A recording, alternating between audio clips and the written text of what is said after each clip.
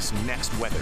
Yay, it's game time. All right. Our favorite time of the day. How hot uh, is it? I, I don't think it's going to go all the way because of the rain. Close. It's going to be close. Mid 90s again tomorrow, and uh, we're looking at Oh, you know feels like temperature 105, 110. So we're not pinning the needle all the way. We haven't had a heat warning yet so far this summer, but uh, it's going to still be a, a steamer of a day. First red box we've had in a while. We've actually been a little below average. I mean, the humidity has made it feel very uncomfortable, but as far as the actual temperatures we've been hitting since that uh, ridiculous 98 degrees back on Thursday, we've been below average by a couple of degrees today, back above average. 93 was the temperature. We may get to 94 tomorrow. Splitting hairs there with the air temperature because it feels like it's still going to be triple digits. Feels like 99, so we're below 100 at least in Miami. Fort Lauderdale still at 100, 102 there in Pompano Beach, and 101 in Pembroke Pines. But places like Kendall, where we've had a little bit of rainfall for today, have been uh, doing better as far as the temperature and also uh, the heat indice. Not much left here, just a few little boundaries that we'll watch for any little pop-up showers. But I think uh, we're pretty much certainly for the bulk of the day we're done.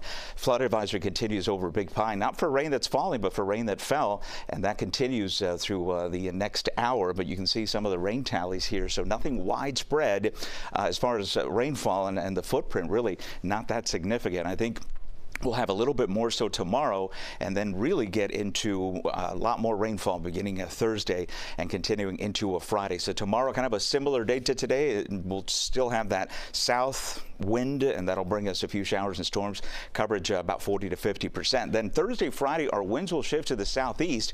That will join the Gulf breeze and I think they're going to make a match here in that when they collide, we're going to have some good downpours for Thursday and Friday. And then they're still tracking a weak tropical wave that'll move through. So it's not going to be anything um, uh, like a wind event, but it will bring us additional rainfall chances. Uh, they'll go higher for the weekend or at least stay at about 60%. There you see the forecast for uh, tomorrow, 9 o'clock. We're still doing good.